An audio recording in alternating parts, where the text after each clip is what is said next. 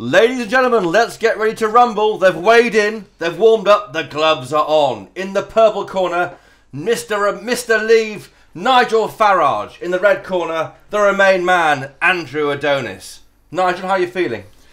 Good. Um, I, you know, obviously it's going to be a hell of a battle here this morning, um, but I think I've got truth on my side and 17.4 million people. Andrew Adonis. Uh, well, I think I've got the tide of events on my side. Uh, the Prime Minister's imploding, there's no deal that's going to go through.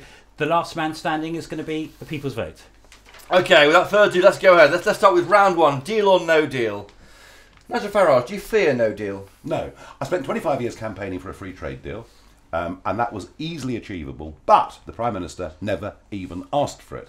We got the clue, I think, at uh, her speech when she talked down in Florence about a close and special relationship. So, given there isn't time now to do a free trade deal, let's leave on WTO terms. Let's apply to WTO itself, which means we can probably carry on tariff free uh, for the next couple of years anyway. And it's the only way now, it's the only way we can deliver the Brexit result.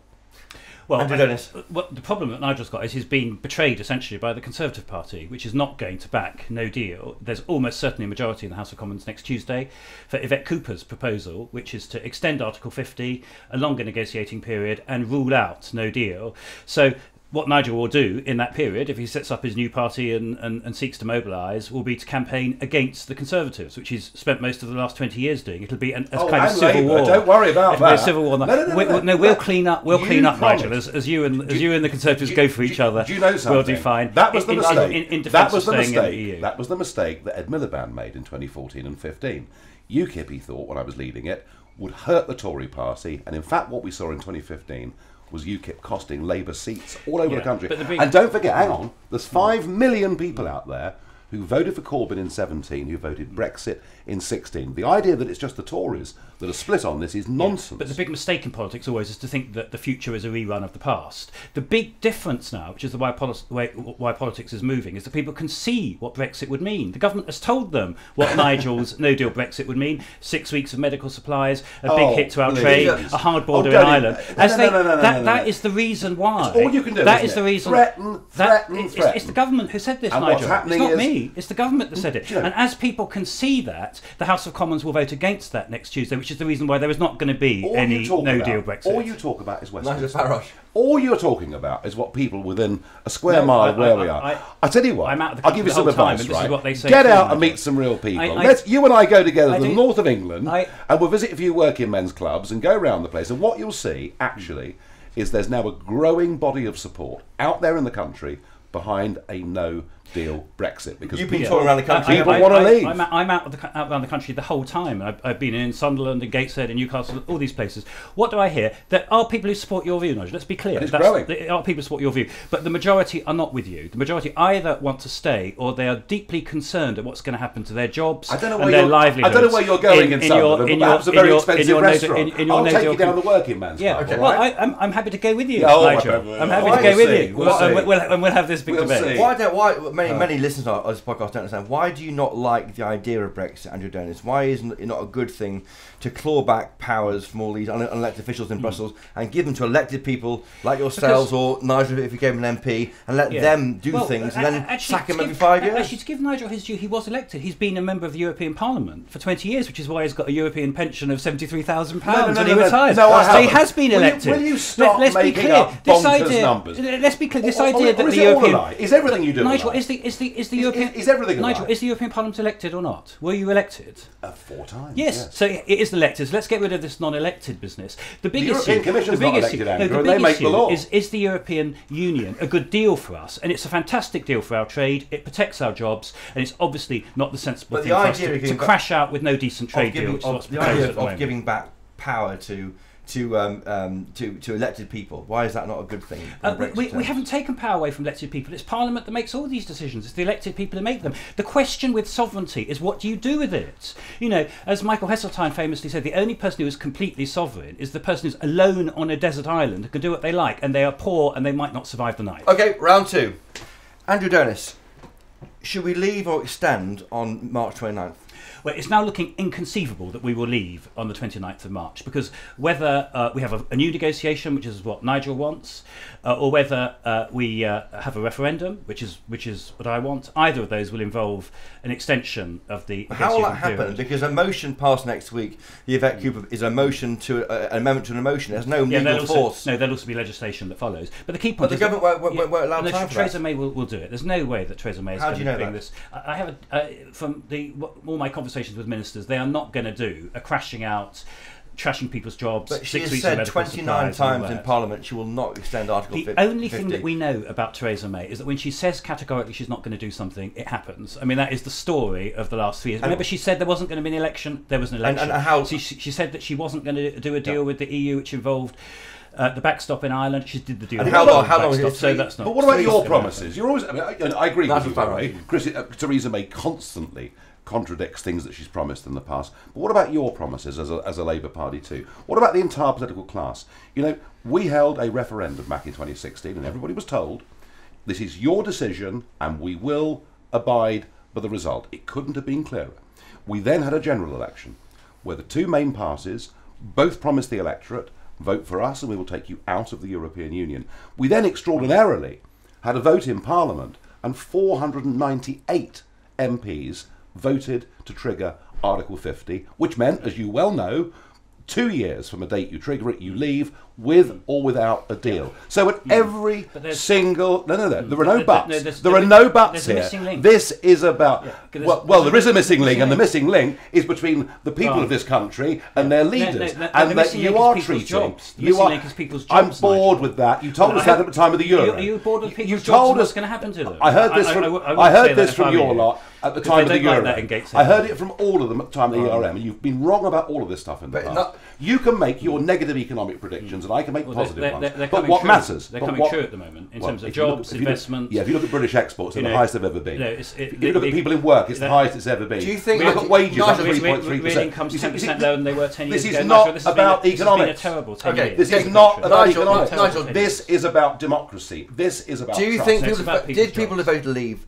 Uh, also vote for being a bit poorer over the next 10 years, which, is what, which is what, these no, no, no, Treasury forecasts say. Right. Do they my, mind my, that? Okay, my forecasts are to be a lot richer. All right? No, he over, says over length I say over, over how long?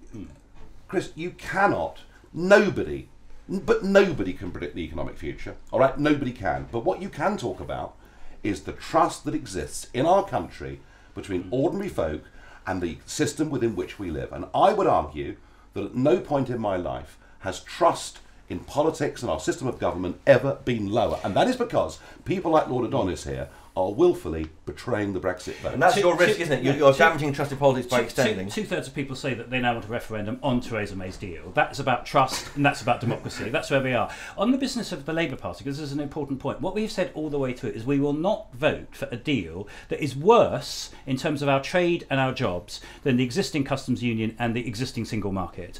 And the Prime Minister herself, Theresa May, has said that her deal will mean, and these are her words, less market access as a result of her deal because we're withdrawing from the customs union and the single market. Less market access means selling fewer of our goods in Europe, fewer jobs, and worse paid jobs. 85%, that is the reason. That is the reason why we need a referendum on this deal. Of the global economy, 85% of the global economy, and that figure grows every year, is outside the eurozone. So all right. So what we do. So things are going to be worse. So what we do so by cutting worse, ourselves. still fifteen percent. By cutting ourselves off from the fifteen percent of the world who regulate our businesses, who take away our competitiveness, we're opening ourselves up to a big, new, exciting world. But again, we're back to this point. You and I can talk economics. You and I can talk economics. Well, do, do, you know what? Totally I'm very interested in hearing oh. all these people saying how bad it would be for us. People who've never ever bought or sold a good or a service or shipped stuff around the world. I have.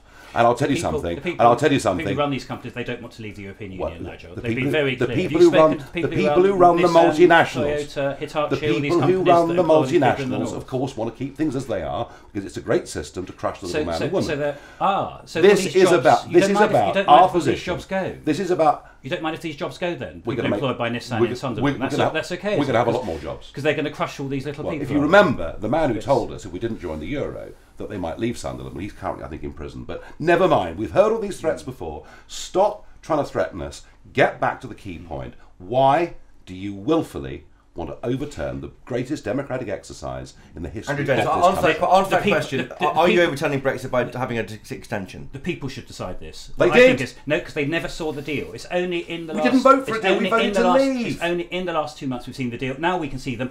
We is- should we, we is should do the referendum, and then I will be I will be in the pub in Gateshead with This is- with, this is with, twisting with and Nigel dishonesty. debating this. Now we're on round three, cross-party or party political talks. Do you first, uh, Nigel Farage? Why don't you work more closely with ERG and sort out Brexit and get, get bring together the, the right on Brexit? Again, huge mistake. This huge mistake to think that Brexit is about being on the right of politics. It isn't. It isn't. It's as much about the centre and the left as well as five million Labour voting Brexiteers prove. So, now what I've tried to do, uh, Chris, in terms of bringing people together, is through Leave Means Leave, you know, a genuinely cross-party organisation. I've been working with people from the Labour Party, the Conservative Party, but perhaps as significantly, you know, some figures from business, some figures more from entertainment, and what we're doing is we're showing Leave voters we haven't packed up and gone home, but we're also, and it's a shocking thing to say, but we're preparing for the worst eventuality. If this betrayal becomes complete, we have to be ready to fight again, and I'll work with anybody within reason uh, to I- achieve this. I saw you last week with the Leave Means Leave rally with Iain Duncan Smith, Esther McVey on stage there. Do you think that you will peel off Brexiteers from the Tory party if there's no if there's no Brexit and we'll thought there'll be a, a new a new party formed? The Well, Brexit party well, has well, been launched. Well, well, they're two different issues. You know, one is how do you prepare to fight another referendum if this result gets betrayed? And I think Leave Means Leave is clearly the right vehicle to do that. Your question about a, a political party is a separate question. I look, you know, I mean, I've been involved in, in, in party politics, in UKIP politics for a quarter of a century. No intention of ever doing this again. Uh, but we may find that if the Adonises of this world manage to stop Brexit from happening, that we are contesting the European elections on the 23rd of May this year, and we need a vehicle to do that. Now, will people leave the Labour and Conservative parties to come and do it? I don't know. But it doesn't really matter. Whether they do or not doesn't really matter. If you give the electorate a clear choice, and the Brexit party, whatever it would be, would be clearly to, for, for a clean break.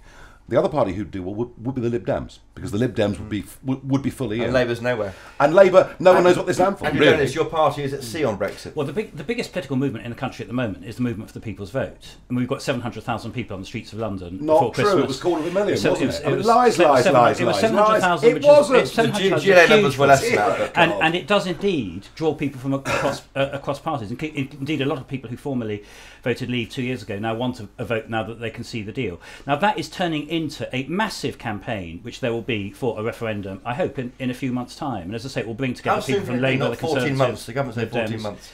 Oh, that's a load of nonsense. You could organise a, a referendum in a few months. So that, that's what's happening at the moment. Uh, what I do agree is that this is no longer happening inside political parties. It's going beyond political parties. And that's a good thing, actually, because the parties haven't been great at uh, linking in with the people. But why is it that this has been so successful? Because people do feel betrayed. All the promises that were made uh, three years ago, you know, the 350 million a week there was going to be for the NHS, and Theresa the May's government's announced agreed 394 million a 39 week. billion. There's a 39 billion deal that we're going to have to pay the EU for, for leaving. You know, they said there were going to be 7 million Turks coming. That's uh, clearly not Well, that happening. was Nigel as, Farage people, saying that. as people can see the lies, they want this referendum, and that's why the biggest political I- movement in the country I've made some is big for a mistakes. I've made some huge mistakes. What's your worst I mean, mistake, I mean, What's I your worst up- mistake? Well, I set up to a quarter of a million people come, could come from Romania, and I apologise. It's nearly half a million um, and going up rapidly. Uh, you know, accept that? you know, the big the big lie has been 50 years of lies, telling us it's just a common market. It won't really affect us. Even this week, we've seen the moves towards a European army becoming more and more advanced. And I just wish those that want us to remain would be more honest. This is the United States of Europe. Everybody in it has to join the euro, and that's the way forward. Now, if you want that, be honest with the people. But at no point in 50 years has your side been straight with the British public. Yeah, but actually, what's coming on now, which is, is the really significant thing happening in politics at the moment, is that is that uh, Nigel Farage is being honest. He does want to come out of everything which is to do with Europe. Theresa May is not. I what she did. is trying to do, did. Yeah, what, what she is trying to do is to be pursuing a Brexit policy without actually doing Brexit, which is what she's doing with her deal, and that is splitting the Conservative Party. And I think that is what will lead to a referendum. here's the one really in that interesting referendum, thing. then the two of us will then have the straight fight: is our destiny better by working with? Europe, trading with them openly, and having a, a, a proper set of relations that mean that we have better security and stability, or is it crashing out as Nigel wants Well- and wrecking our economy and d- endangering our security? is That is interesting- the real but, but choice. What, but what is interesting now. here is I, I do detect there's a change going on out there. That you know how tribal our system has been. So for the last hundred years, you know, you can knock on doors, and there's no point making political arguments. We're Labour, we're Conservative. It's almost been, That's a it's been realigning. It's been a tribal type of thing that we've been Labour since the First World War or whatever it is, and all right, you know. What, now and again, the SDP come along and chip away at that, or the Liberals have a good time, or UKIP come along. But basically, we've been in these two tribes. What I'm now beginning to witness is people are now identifying as Leavers or Remainers ahead of being Labour or parties- Conservative. the parties And might move towards reflecting I, that? Well, Chris, I, I- you know, I think this. I mean, Brexit was an earthquake uh, in the British political system, but I suspect there are some big aftershocks to come. We could see British politics reshaped by this. Actually, I, I agree that things are being reshaped. The thing I find most uh, significant as I go around the country is young people. People under the age of 30 overwhelmingly want to stay in the European Union because they feel that their future sure lies. Oh yeah, all the all the all, all the meetings and contacts I have and all the polls show it as well. Hmm. I'm very strongly in favour of there's going to be a referendum this year in giving votes to 16 and 17 Okay. year olds because their future is more at stake than anyone's, and I can assure you they remain, not leave. Round four. Andrew Adonis, what will the question be in your referendum? Well. Whether we want to stay in the European Union is, is the option that I you favour. refight the 16 Uh, argument, do you? no, well, the, the question then is, is really on the other side: is are they going to have two options? Are they going to have the Theresa May leave option and the uh, and the and the hard leave option where we leave everything? No deal, deal, or remain. Or, or, or are they just going to have one option? Now, I'm happy for them to fight that out between them because there's clearly a massive fight going on on the leave side at the moment as to whether they should have one option or two options. I'm very No, clear no, that there should be a a remain. referendum. We there don't should need be a a second. remain th- option. There's no fight so at that's all. what- There's well, no fight is- at well, all. We don't want Well, a second fair referendum. We don't need Yeah. a second. No, referendum. We've had a referendum, and you, you promised this us. happening, Nigel. The And question you is, what do you- promised what do you want? Why have you broken your promise? Do you want one option or two Why have you broken your promise? Have you lied I, to the I haven't broken any, any promise at all. Party said we'll abide by the result, No, and now no. you won't. We said only if the deal was as good as the existing That's single not what you market. said in 2016. It is. In the 2017 election, we said Ah, that we would only 17. vote for a deal that was as good as the single market and the customs union because we're not prepared to trash people's jobs. But the party jobs. voted to leave, didn't it? And, in, uh, in, in, in, Provided we get got a deal that was as good as the single market and the customs union, because we're not prepared to trash people's jobs. What the deal that Theresa May has done does trash people's jobs. She herself has said we'll have less access to European markets And more of access to 85% of And the that- global and that- market. well, no, It's really no, rather exciting, no, isn't because we it? have no deals. Liam Fox has not done any trade deals. We don't have any He further can't, access. can he, until we But he hasn't done any. He was, remember, he was going to have 40 ready for signature The whole one, world. one He may- he second have- past he have, midnight. the whole No, world he said is they weren't queuing going to up. be there. The whole world It wants is to to fantasy. They all do. It's complete America, fantasy. Australia, Total Japan, fantasy. you- they're all queuing Yeah, up. What's so why are the deals not ready? Why are what's the your- deals not ready what- then, Nigel? Well, he, the answer to his question first. Why are the deals not ready? If, if they're all queuing up to trade with us, We're not allowed to do them because we're part of your blessed European you can start Union. negotiating them now. Uh, well, if I'm afraid and that Monsieur Barnier has made it It's very clear we're not allowed to do it, and we must bow down to our unelected No. masters in I thought- I thought- the people you, want to I run our country. you were telling us you were what a taking back- shower they I thought you were telling us you were taking Juncker, back I mean, control. Juncker running this If country. you can take God back, help us. If you can take back control, you can certainly negotiate a trade deal, Nigel. The fact that there has not been a trade deal so far is because, you've been Because- well, incapable of we're taking it allowed to. To be fair, they can't. They can't not stand until allowed we leave. to. What's your question, Nigel Farage? If Andrew Adonis gets his way, there's delay, then MPs vote in two in two or three months to have a referendum. What's your best question? Is it leave Remain? Is it Well, deal or no see- deal? I mean, I mean, to be honest, you know, why should Remain be on the ballot paper? Because that we settled. I mean, if you wanted to have another referendum on how we leave, I guess you could have that. I, I think I think it's a terribly bad idea. Uh, I think it would give yet more uncertainty, etc. But but that's the real question. If you have a second referendum, should Remain even be on the ballot mm. paper? But and, I, and I- and I don't think it should. What we've now had is an acceptance that there are different leave options, and that is going to be at the heart of this referendum. Is do you go with Theresa May's deal, Well, which she all says is essential to avoid a hard border in Ireland, not to trap, Well, if you have view, not not not not to endanger our trade and so on, or do you go for Nigel Farage's option, which is to crash out of everything and do huge damage? How, so, so do, you, do you want a United States of Europe, Andrew? I want to remain in the European Union. And join the euro? No, and I be- don't want to join. And, no, and be we part have of the a perfectly European good deal. army? No, you're doing the scare And be now. part of the- No, no, no, no. We, we have a And- perfectly good. and be part of the No, European- you- You're making all this up. We're, we're, we're I'm not in making the the Euro. European army up, Had you, know, had you noticed that? I'm not- making it up, am I? Well, we don't have to join any European army. There's no proposal Really? out there for a European army at the moment.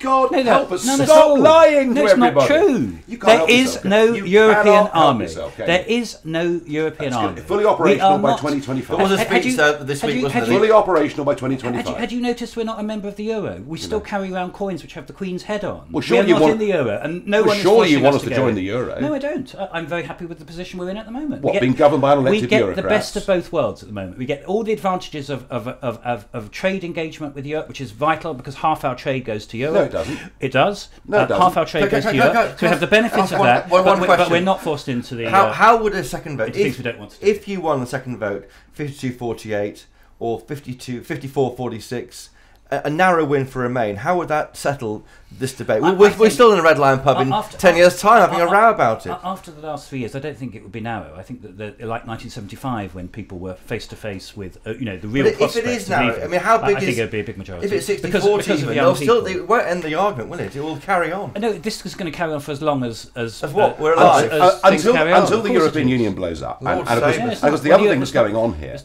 is you've got these maniacs like like Macron and Merkel pushing for a full United States of Europe as quickly as they possibly can. The rebellion is growing across Europe. Italy now poses the biggest threat to the future of the European Union, far bigger than we pose. Um, and fascinatingly, it's the youth of Europe. It's the under 30s of Europe rebelling in country after country after Well, they country. want to stay in the European Union here. Uh, uh, the under 30s Andrew, overwhelmingly the- want to we are the the only country where the under 30s appear Yeah, to be do you, strongly why, pro why do you think that is? An education system that, frankly, has not taught them critical Okay. thinking. But that's a separate I debate. see, I see. Brainwashing. I see. But the, the key point about it is that Miss, Mrs. Merkel is not going anywhere. No, she is. Well, she is Germany going is still soon. there. Yeah, no, but the, the, the, the centre ground in Germany is, Is- not yeah, going to break up the European Union Now, round five, finally. Andrew Adonis, when should Theresa May quit? As soon as possible because she's such a disaster. I mean, she's the worst. and Prime who's your ideal leader? Who's your ideal leader Uh, to take us through into this uh, to staying in the EU as, as you Well, hope? the Conservatives. Because And got- Amber Rudd or something? Well, a- a- anyone who can actually manage the process of calling and supervising a referendum. That's what the country needs at the moment. So whoever that is, I'm happy with whoever the Conservatives provide, who will do the will of Parliament and the will of the people to see that there is a referendum. Nigel Farage, who, who would your best best best bet if it weren't Theresa May? There's no demand for a second referendum out there. That's that's for sure. Uh, I anybody who has the guts and courage to recognise that as we sit here in the Red Lion, the legislation is clear. We have a referendum act that's in place. We are leaving in 64 days' time if the government has the will to just stand there and say we will defy all those that want to betray Brexit. So somebody with guts, and I don't care who it is. Boris Johnson? I don't care who it is, as long as they've got the guts to do it. Are we this. witnessing the end of the Tory party if they don't leave on the 29th of March? Oh, I think it's pretty catastrophic for them, uh, but I think it's equally pretty serious for Labour in some parts of the country.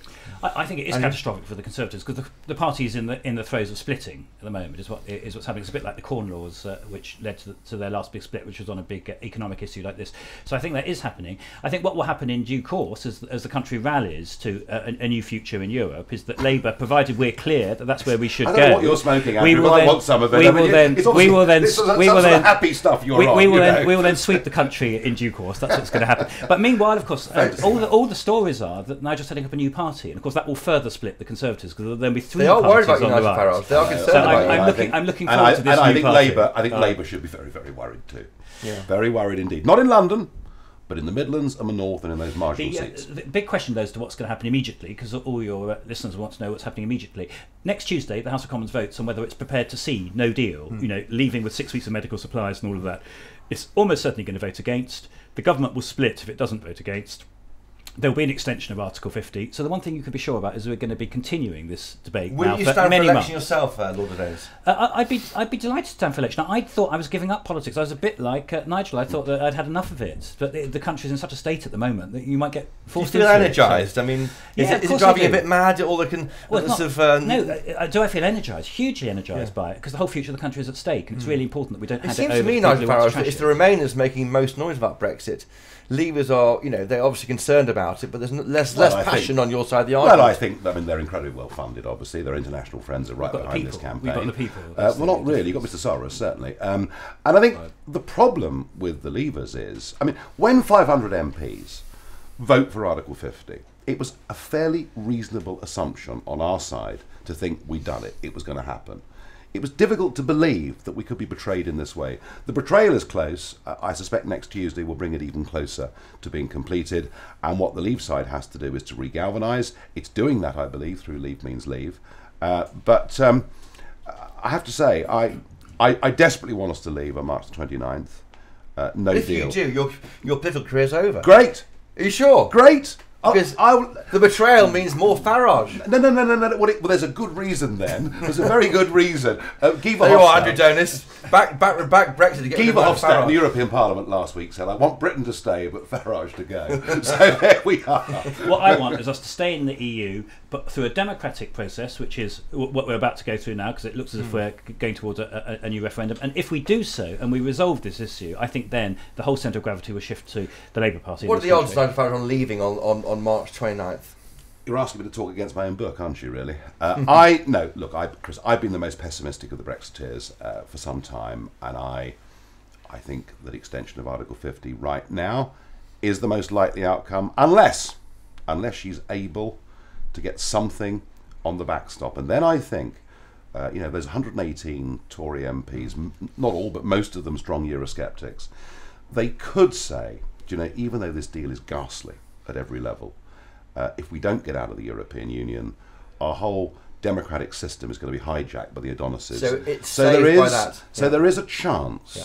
There is a chance that if she can get something on the backstop, and I did notice yesterday, Monsieur Barnier being a bit more grown up Hmm. about the Irish border issue.